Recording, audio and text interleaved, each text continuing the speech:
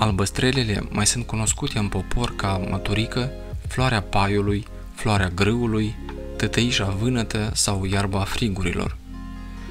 Albăstrelele sunt plante erbacee din familia compozitilor, înalte de până la un metru, înălțimea lor fiind în mod obișnuit de 50-60 de centimetri.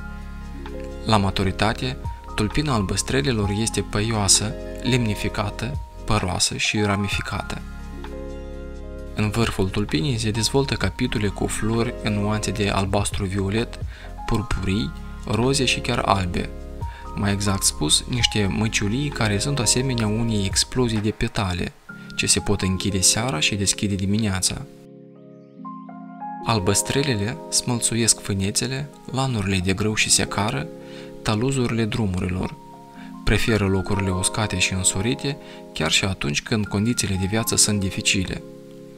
Înfloresc din luna iulie până în luna septembrie. În mod obișnuit, de la albăstrele se recoltă inflorescența sau chiar numai petalele, dar poate fi utilizată și planta întreagă. Substanțele active importante ale albăstrelilor sunt centaurina, pelargonina, cianina și taninul.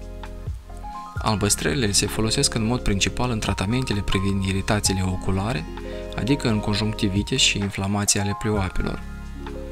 Preparatele din albăstrele se folosesc și ca diuretic.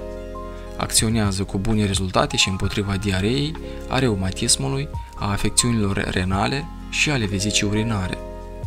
O aplicație cu albăstrele poate readuce și pofta de mâncare. Potrivit specialiștilor, produsul terapeutic pe bază de albăstrele acționează pe trei direcții – calmant, diuretic, astringent. Celelalte efecte în plan terapeutic se obțin sau se potențiază în combinație cu alte plante medicinale. În mod obișnuit, albăstrelele sunt utilizate în tratamentele legate de inflamațiile ochilor.